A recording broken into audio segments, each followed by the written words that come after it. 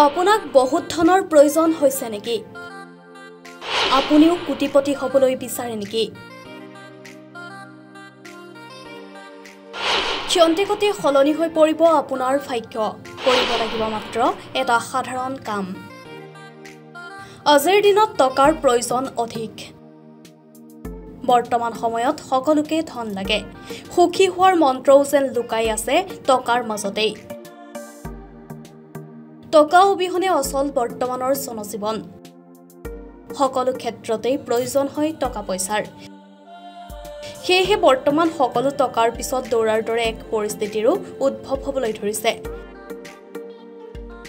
সকলোৱে অধিক টকাৰ গৰাকী হ'বলৈ বিচাৰে। আপুনিও বাৰু অজস্ৰ টকা পইচাৰ গৰাকী হ'বলৈ বিচাৰি আছে নেকি? কোটিপতি হ'বলৈ বিচৰাসকলে কৰিব লাগিব মাত্ৰ এটা বিশেষ কাম। মাত্ৰ এটা সাধাৰণ কাম। তাৰ পিছতেই কোটিপতি হৈ পৰিব আপুনি। কেইবিধমান গছে আপোনাৰ ভাগ্য সলনি কৰিব পাৰে। কেইবিধমান বিশেষ গছ ঘৰত ৰাখিলেই হ'ব অজস্ৰ টকাৰ গৰাকী। বিশেষ কেইবিধমান গছৰ যিকোনো এবিধ গছ ঘৰত ৰাখিলেই হৈ পৰিব আপুনি কোটিপতি।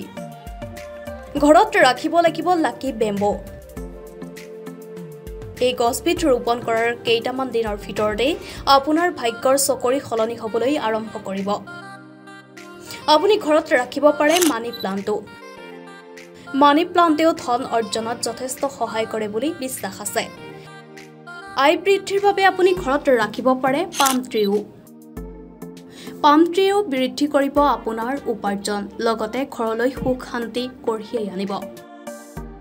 আপুনি ঘৰত জেট প্লাণ্টটো ৰাখিব পাৰে। এইবিধ গছে জীৱনটো ক্ষন্তেকতে সলনি কৰিব।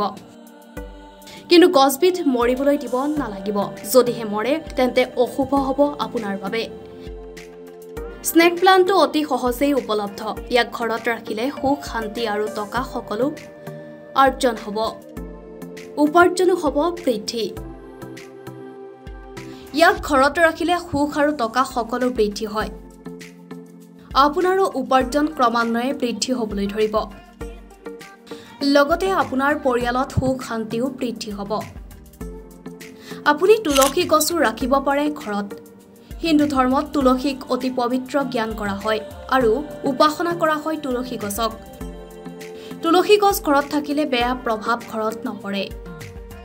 এইসমূহ গছেই সলনি কৰিব আপোনাৰ ভাগ্যৰ চকৰি। আৰু এইসমূহ গছৰ পৰাই আপুনি লাভান্বিত হ'ব অধিক। News desk report current trend Assam